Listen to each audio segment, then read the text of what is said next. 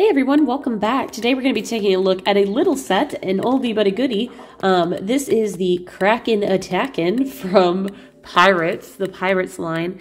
Um, they've done several Pirates lines, so I think this is amongst like two or three of the waves. Um, this is set 6240. The name is super funny. Came out in 2009 with 78 pieces.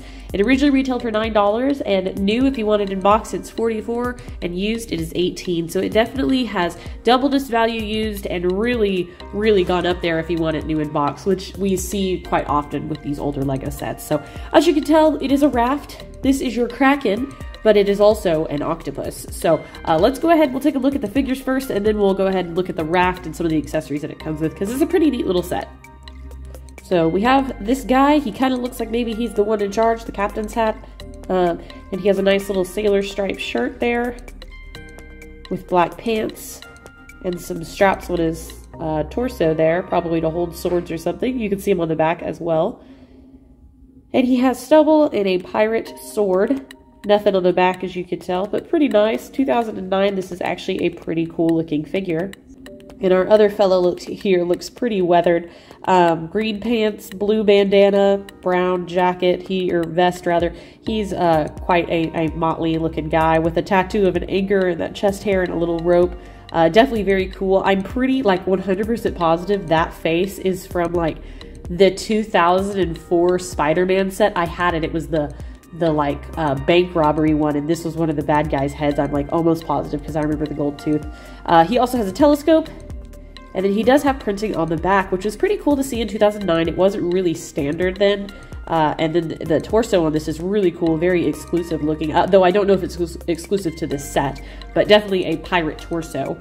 Um, the other, I guess, character, if you will, it's not really a character, but it is the Kraken, which is also a squid We've seen this as a decoration piece. We've seen it in a couple different colors, primarily black. This one is in like a dark red, and it is a um, a nice piece. I think that if they ever redo Pirates or anything Sea Life, they could definitely do to upgrade this squid. Give it some real printed eyes or something, because you can see its eyes there. Just really old style with just the little uh, stud holes. And then it does have places to hang on with these uh, circles here. They click to Lego pieces. Uh, and then obviously the back is a 2x4, uh, or a 2x2 rather. So pretty nice still, and it's a nice color that you get that little uh, kraken in. Taking a look at, I guess they would consider this the raft, there is a uh, bird's nest or a lookout stand in the very top that you can set a figure in. Uh, you can tell they can climb up there using the ladder. Um, over here there is a little oar and that is movable at least up and down or side to side at least a little bit. Uh, this is a little holder for the oar or you can make the character hold it.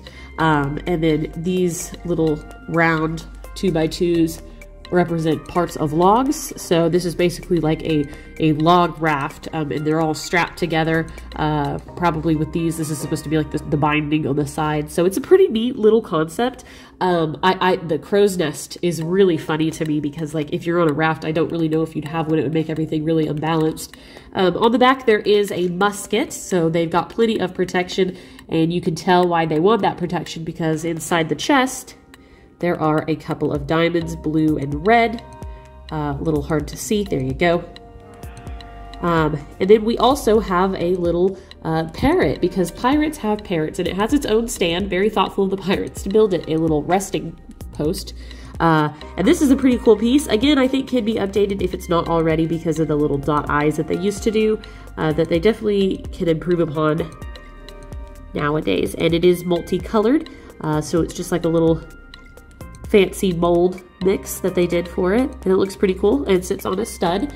Um, so that's it. It's a small set. 78 pieces is really small uh, but I think it looks pretty dang cool nonetheless. It is a nice display piece if not a good play piece.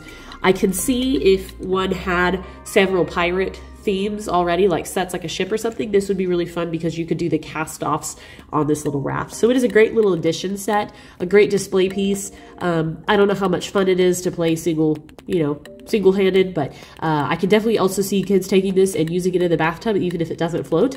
I know I would have done that. So overall, it's pretty cute. I like it a lot and it adds some character because, uh, you know, we haven't had pirates in a long time, so it's really cool to see this. And anyways, guys, I hope you like this review. Uh, let me know what you think in the comments below, and until next time, I will see you guys later.